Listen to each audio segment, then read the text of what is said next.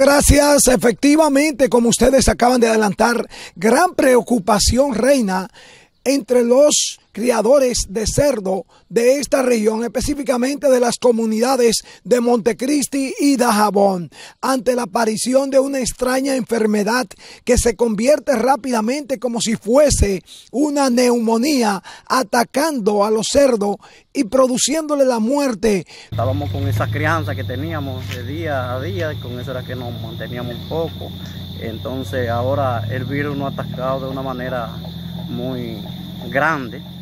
Yo pedí dos puercas madre y un par de marranos. La suma de dinero es mucho, la pérdida que nosotros hemos tenido aquí. Los puercos acabaron todos. Tenía como cinco puercas paridoras, se murieron todas.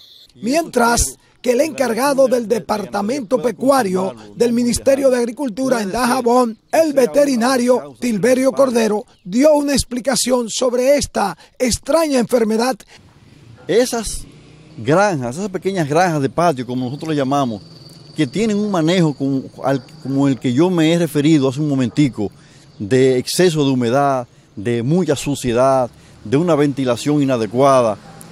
Eso es causa de neumonía, que puede ser una, que puede ser, que puede ser los criadores de cerdo de esta región esperan que las autoridades del Ministerio de Agricultura actúen lo más rápido posible ante esta situación que está afectando a todos los cerdos que se están criando en distintos lugares de esta zona y también provocando pérdidas millonarias en torno a esta situación. Es toda la información que tengo en estos momentos. Retorno con ustedes a los estudios.